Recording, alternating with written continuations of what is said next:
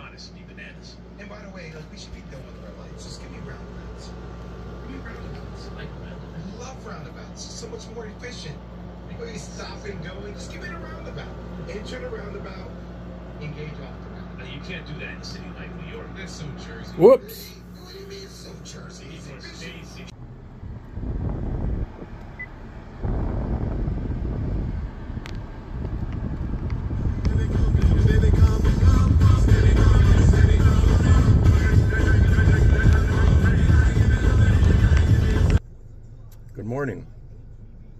I'm sorry you had to witness that hair.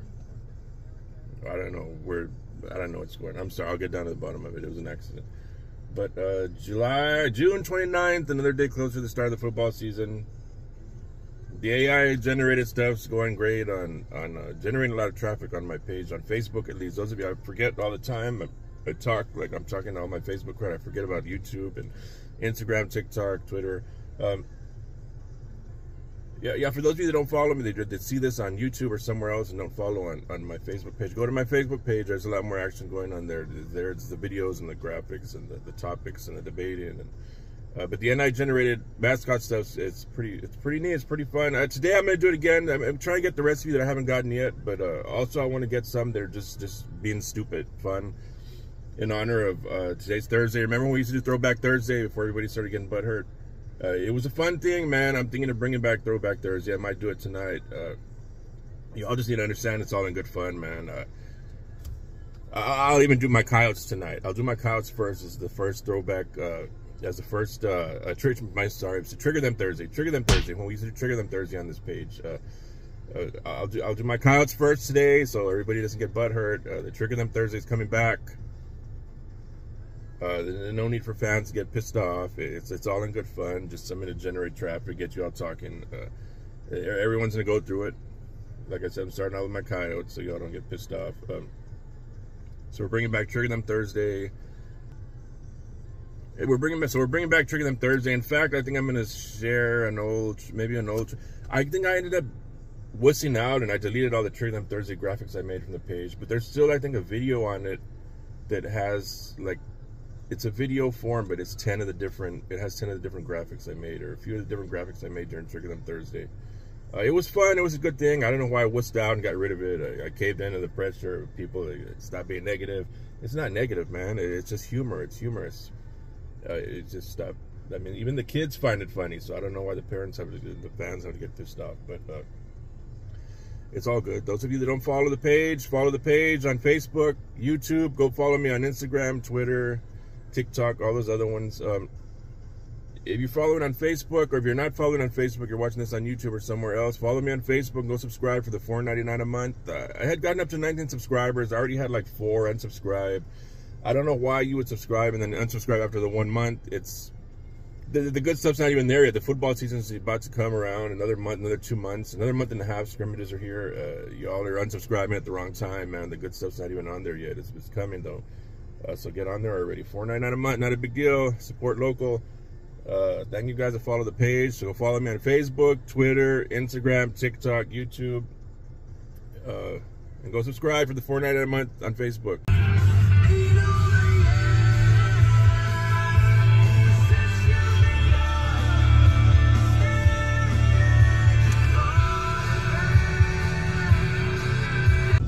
Oh yeah, that's the other thing I wanted to mention. For, those of you that follow like other com like you know, if you follow me, you'll see my comments on other other posts sometimes using the South Texas Bloodsport uh, page, and you'll see me arguing a lot with Jordan fanboys. Man, I, I don't search that out. That stuff just passes through my timeline, man. It's, it's unnerving, man. And it's so there's no there's no more annoying fan base in the world than the Jordan fan base that rewrites history.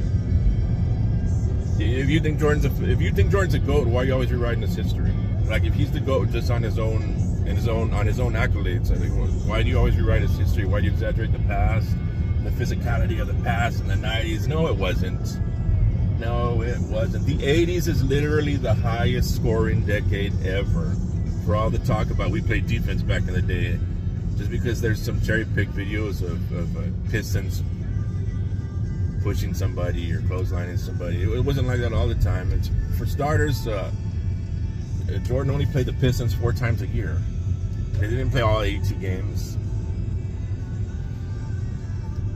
And uh, yeah, so stop. I mean, if you like I said, you all really think Jordan's a goat, stop rewriting his history. He's not the goat. LeBron's a goat.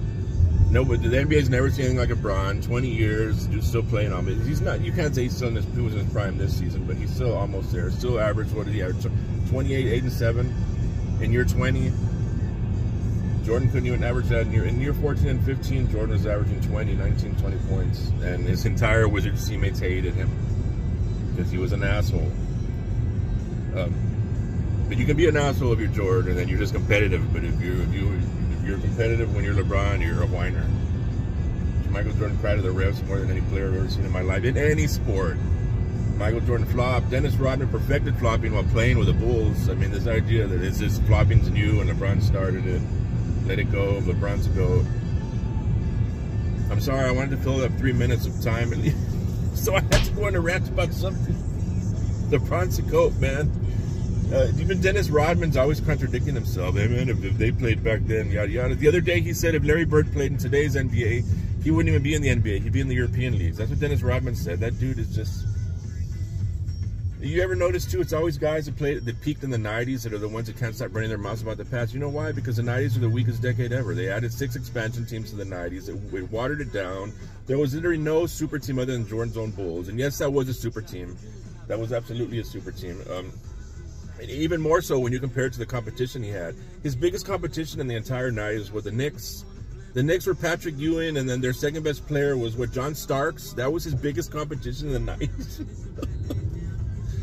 you want to talk about six and oh zero final records, and then LeBron has all these losses. The, the idea that it's somehow better to lose in round one in the finals is about the dumbest argument I've ever heard in my life, man. I put it in terms of high school football. Is a team better if they lose in the first round or if they lose in the state championship game? It is so stupid. This idea Jordan fanboys created is it's better to somehow lose a bunch of times before the finals than it is in the finals. Let it go. LeBron's a go. I think I filled up three minutes now. I'm getting here to work, so all of you have a great day. Football season's almost here. Be happy.